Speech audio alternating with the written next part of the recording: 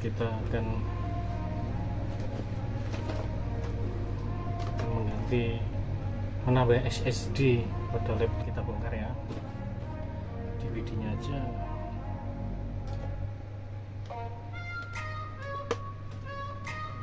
Ini buat buat DVD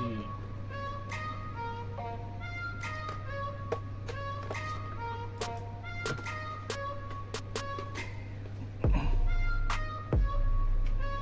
可以啊。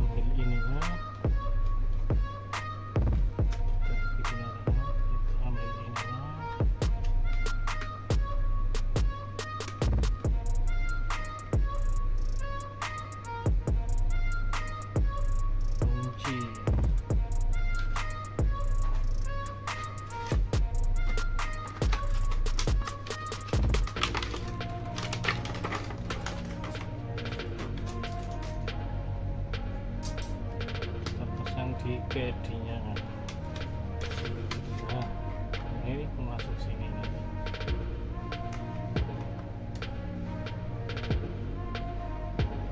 kita pasang SSD adata 128 GB hmm, tinggal ini aja kita baut bawahnya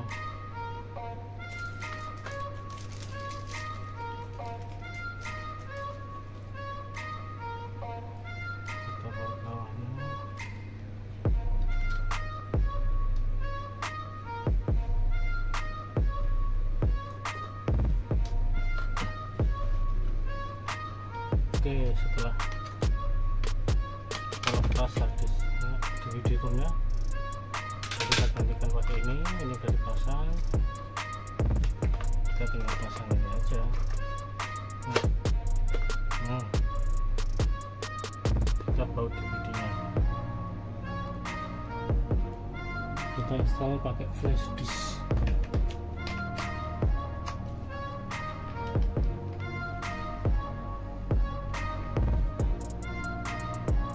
kita tekan F12 untuk pilihan bootingnya.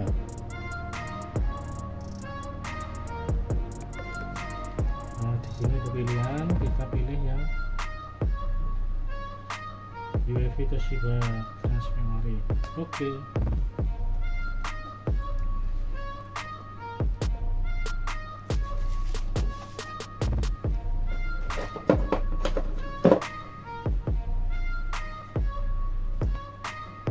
oke kita lanjut pilih. Karena kita tinggal di Indonesia pilih Indonesia saja. Klik next. Install now. Pilih. Kalau udah ada serial nomornya atau udah pernah ori Windowsnya pilih aja icon serial number. Ini sesuaikan Windowsnya ya bro ya Windows 11 Pro next. Ini kita tekan next. Tinggal, tinggal tunggu selesai. Tinggal tunggu selesai.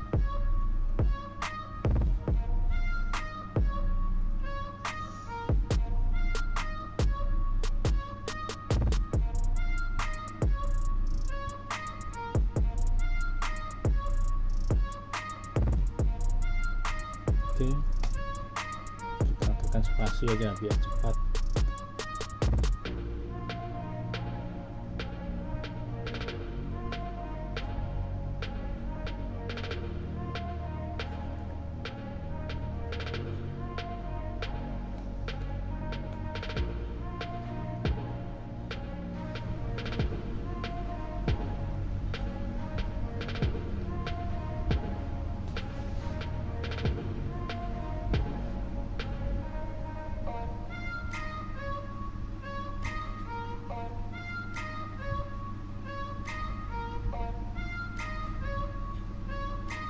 kita pilih kita pilih yang ini saja.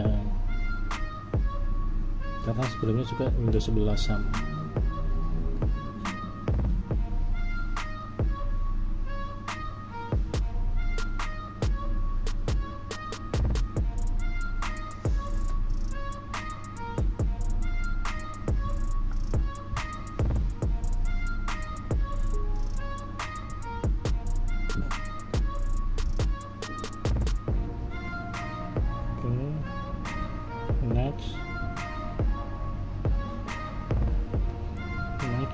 skip aja. I don't have internet nggak usah pakai internet. Kita kasih nama del. Password nggak usah diisi. Kita matiin aja semua